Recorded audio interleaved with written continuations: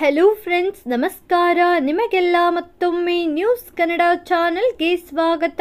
ಇಂದು ರಾಜ್ಯ ಸರ್ಕಾರವು ಈ ಜಿಲ್ಲೆಯ ರೈತ ಬಾಂಧವರ ಖಾತೆಗೆ ಒಟ್ಟು ಒಂದು ಪಾಯಿಂಟ್ ಮೂವತ್ತ್ಮೂರು ಕೋಟಿ ರೂಪಾಯಿ ಬೆಳೆ ವಿಮೆ ಪರಿಹಾರವನ್ನು ಬಿಡುಗಡೆ ಮಾಡುವುದರ ಮೂಲಕ ಈ ಜಿಲ್ಲೆಯ ರೈತರಿಗೆ ಒಂದು ಬಂಪರ್ ಗಿಫ್ಟನ್ನು ನೀಡಿದ್ದಾರೆ.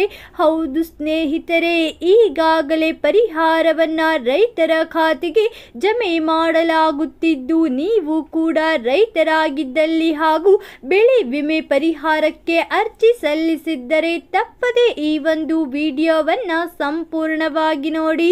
ಹಾಗಾದರೆ ಯಾವೆಲ್ಲ ಬೆಳೆಗಳಿಗೆ ಬೆಳೆ ವಿಮೆ ಬಿಡುಗಡೆಯಾಗಿದೆ, ಯಾವ ಜಿಲ್ಲೆಯ ರೈತರಿಗೆ ಪರಿಹಾರವನ್ನು ಜಮೆ ಮಾಡಲಾಗುತ್ತಿದೆ, ಎಷ್ಟು ಪರಿಹಾರವನ್ನು ರೈತರ ಖಾತೆಗೆ ಜಮೆ ಮಾಡಲಾಗಿದೆ ಎಂಬುದರ ಸಂಪೂರ್ಣ ಮಾಹಿತಿಯನ್ನು ಒಂದು ವಿಡಿಯೋದಲ್ಲಿ ತಿಳಿಯೋಣ ಬನ್ನಿ.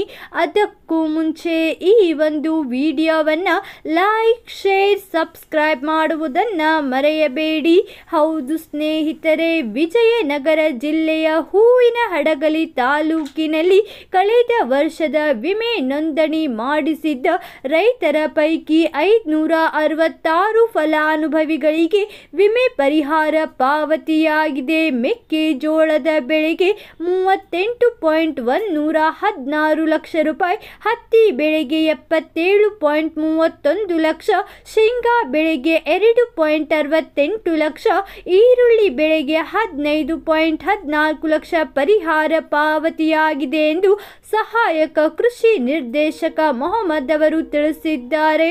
ಹೌದು, ಪ್ರಸಕ್ತ ಅಂದರೆ ಎರಡು ಸಾವಿರದ ಇಪ್ಪತ್ತ್ಮೂರು ಇಪ್ಪತ್ನಾಲ್ಕನೇ ಸಾಲಿನಲ್ಲಿ ಕರ್ನಾಟಕ ರೈತ ಸುರಕ್ಷಾ ಪ್ರಧಾನ ಮಂತ್ರಿ ಫಸಲ್ ಬಿಮಾ ಯೋಜನೆಯಡಿ ಅನೇಕ ಬೆಳೆಗಳ ನೋಂದಣಿಗೆ ಸರ್ಕಾರ ಅನುಮೋದನೆ ನೀಡಿದೆ. ಮೆಕ್ಕೆಜೋಳ ಹತ್ತಿ ಜೋಳ, ಸೂರ್ಯಕಾಂತಿ ಬೆಳೆಗಳಿಗೆ ವಿಮೆ ಮಾಡಿಸಲು ಜುಲೈ ಮೂವತ್ತೊಂದು ಕೊನೆಯ ದಿನಾಂಕವಾಗಿದೆ. ಭತ್ತ, ರಾಗಿ, ಸಜ್ಜೆ ಬೆಳೆಗಳಿಗೆ ಬೆಳೆ ವಿಮೆ ಮಾಡಿಸಲು ಆಗಸ್ಟ್ ಹದಿನಾರು ಕೊನೆಯ ದಿನವಾಗಿದ್ದು, ಕೂಡಲೇ ಎಲ್ಲ ರೈತರು ಬೆಳೆ ವಿಮೆಯನ್ನ ಮಾಡಿಸಿಕೊಳ್ಳಿ. ಈಗಾಗಲೇ ವಿಜಯನಗರ ಜಿಲ್ಲೆಯ ಹೂವಿನ ಹಡಗಲಿ ತಾಲೂಕಿನ ಒಟ್ಟು ಐದುನೂರ ಅರವತ್ತಾರು ರೈತ ಫಲಾನುಭವಿಗಳ ಖಾತೆಗೆ ಒಂದು ಪಾಯಿಂಟ್ ಮೂವತ್ತ್ಮೂರು ಕೋಟಿ ರೂಪಾಯಿ ಬೆಳೆ ವಿಮೆ ಪರಿಹಾರವನ್ನ ಬಿಡುಗಡೆ ಮಾಡಲಾಗಿದೆ.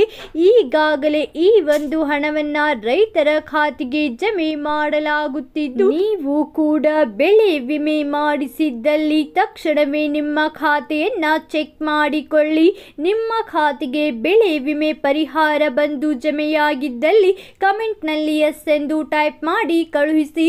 ಈ ಇವತ್ತಿಗೆ ಇಷ್ಟೇ ಸ್ನೇಹಿತರೆ, ಈ ಒಂದು ವಿಡಿಯೋ ಇಷ್ಟವಾದಲ್ಲಿ ಲೈಕ್ ಮಾಡಿ ಮತ್ತು ಯಾವುದೇ ಮಾಹಿತಿ ತಿಳಿಯಬೇಕಾಗಿದ್ದಲ್ಲಿ ಕಮೆಂಟ್ ಬಾಕ್ಸ್ನಲ್ಲಿ ಕಮೆಂಟ್ ಮಾಡಿ.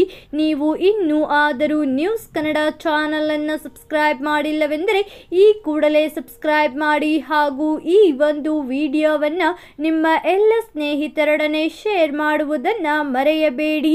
ವಿಡಿಯೋವನ್ನು ಸಂಪೂರ್ಣವಾಗಿ ನೋಡಿದ್ದಕ್ಕೆ ಧನ್ಯವಾದಗಳು ಸ್ನೇಹಿತರೆ.